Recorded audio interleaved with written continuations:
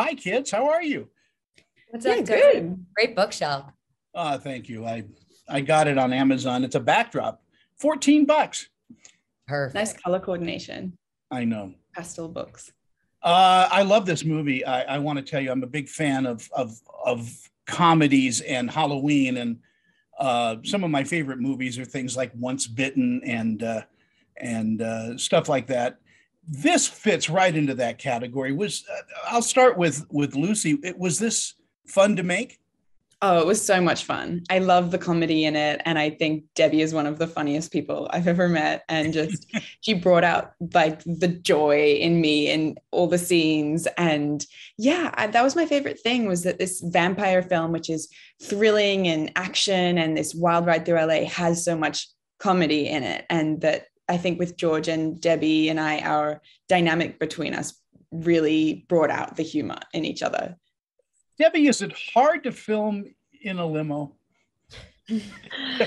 um, originally, the script was a lot more in the limo, and uh, taking out the middle seats and putting those neon lights in there. Adam had such a good vision, and our director of photography, Eben, was amazing. Our production designer was amazing, and I think they shot it in a way that kept it alive. I think on the page it sounds like it's gonna be a lot of just two people in the back of a car and um and the way that they used mirrors and the way that they used lights and i mean it was mm-hmm. quite fun uh, the only problem was um there's a scene in which we smoke something in the car and it sort of is this like herbal whatever and it has quite a lingering smell but we shot that very early on it was one of the first things we shot so for the next month of being in that car the entire interior of the car smelled like that plus like the fake champagne that was spilled, plus like the fake blood. And it just became this cacophony to the senses.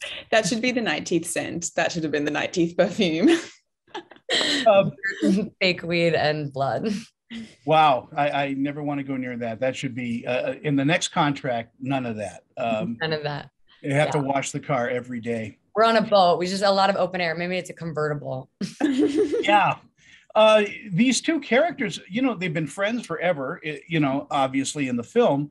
Were you guys fast friends during uh, during the filming of this?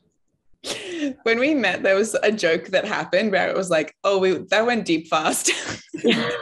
it happened really fast for us, and it was, I think, crucial. Um, obviously, because the stakes for both of our characters are so intertwined with each other and with this relationship, but yeah, I, I couldn't have asked for a better scene partner. And I was slightly familiar with your work going into it, but didn't know you as a person. And all you just hope that the person's not a dick. Like you just hope that the person's like cool and down to go on the process. And yeah, like, I felt so lucky working with Debby and just how committed she is to the work and was always so prepared and made it so easy and so much fun.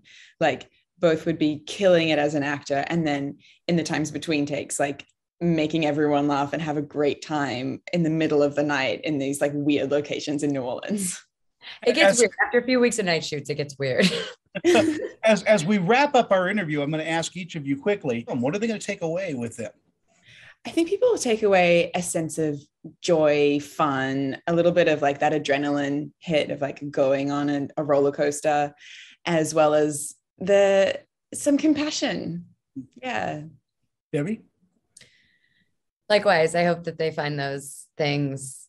I think it's fun. It's, you know, it's bright and the music's amazing. And it's such a, a, a ride and such a visceral sort of moment of celebration, especially after the last year and a half of being so sort of withdrawn and it being such a scary time, this is a real cathartic release in every way. And it's full saturation and full send. Um, and it also, yeah, compassion is great. I think it's about humanity and it, it, most of my favorite projects challenge you morally and you go i'm rooting for this guy and it's breaking bad and, and he's doing these bad things and it's dexter and um, so this is a sort of movie where um, I think you have to really cut through the actions and the worlds and what we should believe and and look at the heart and the impact of what's happening. And hopefully they take this into our, our real lives as well.